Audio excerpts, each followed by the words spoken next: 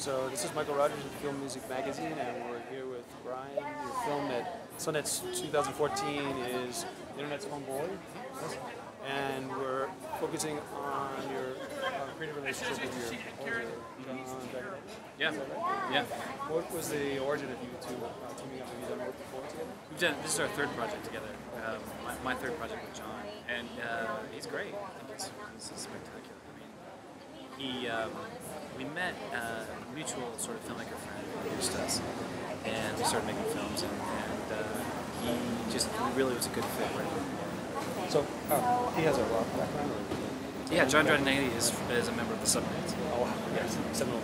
Yeah, yeah. So they're So in your in your conversations early on, how did they start, and then how did it trans transform? Well, you know, I, I, my conversation with John has always been um, talking about the project, what I thought was important about the project, what I thought the main kind of themes were, and my and sort of um, communicating to him my approach to filmmaking, including showing him other stuff. Um, and so from there, he kind of does his thing. I try not to hit him too much. He, just uh, I, uh, I- I've said I, I try to put him in tight spots and see, see what he can do to get out. Oh, and brother, he, out there. he does does just amazing things to get out of the spots. So uh, do you, you know, uh, process of bringing him in early, or is it after a sort of a certain assembly that you start to show him in terms of spotting? uh, yeah, I um, You already decided he was the guy. early. yeah no I've already, yeah yeah yeah I already knew uh, before we started the project that I wanted John to do it. Um, he's uh, yeah I show him a little bit. We talk about it, and he starts making music, and I start making critiques. You know. Uh, even when I'm in the sort of script form and looking through transcripts and digging through things. I wish more filmmakers did that. It's Yeah. just the, that's the most optimal. Because then you're, Yeah. you're almost like working with a. Yeah, no, it, and I think it's I think it's got to be almost that close. I mean, music uh, is important for film, and so as I'm, you know, it's a it's a nice little kind of give and take. You know, you're writing a script all day. You'll send me a track, and it's a delight to hear it, right? And, and then I can sort of direct it where I'm headed, and, and hopefully it all kind of uh, comes together. Kind of, you know, all the lines converge at some point.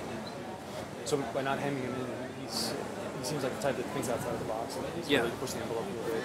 Yeah, I mean, you know, I'll give him some temp tracks occasionally. I'll give him, I'll definitely talk about the style and tone, and I'll definitely talk about the what I'm doing as a filmmaker, the theme, you know, whatever. But um, even the content, telling the story uh, very closely, and uh, maybe show him some interviews, but not, not usually. And uh, he's usually able to uh, clue into exactly what I'm and then uh, bring a, a level that I didn't expect, which is really Intuitive.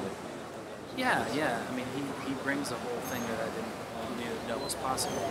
And instead of that being an entirely different direction, it's usually taking what I've already communicated to him and amplifying it. So growing up, are there some specific films that have scores that stand out? Yeah, there is. You know, the one the one that comes to mind actually is um, the, uh, All the President's Men. Oh. Because All the President's Men has a wonderful, wonderful score to it, but it also doesn't have any music for the first 20 minutes.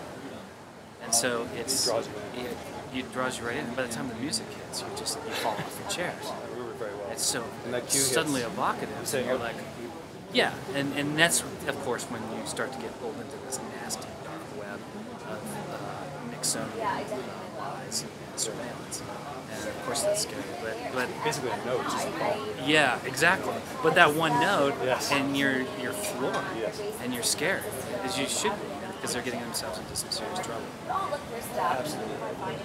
It's stunning how just you know sound design or just a note, the right note. Jerry Goldsmith talks about it. Just like get the right note, and suddenly that's all it takes. Yeah, it's true. Simplicity is actually really key. You don't want to overdo it. That's another thing John does. Just seems to it seems to like sim- simplistic sort of not simplistic, but but um, you know not overworking the track too much, uh, and understanding that, that it's building and going somewhere, and that you're um, that you know as the story kind of changes, you know, new elements and new uh, musical elements um, kind of pull you along into it. Did you play it all? I like key, keyboard. Keyboard. Yeah. I mean, I, I grew up with keyboards, I'm, I'm not a good. Or shall we take lessons? Yeah, and I and I, I did more than that, but Nice. but it's not. Um, Yeah, session player. no, I'm not. No, not session player. So how's your experience with this film this year? It's been spectacular. Reception. Yeah, it's been really, really moving. Uh, standing ovations. And, uh, just a really great, great, Yeah, yeah. Please. Thank you so Okay, much for your time. thank you very Appreciate much. it. All right. Yeah, I appreciate it. Bye bye. Thank you. Thank you.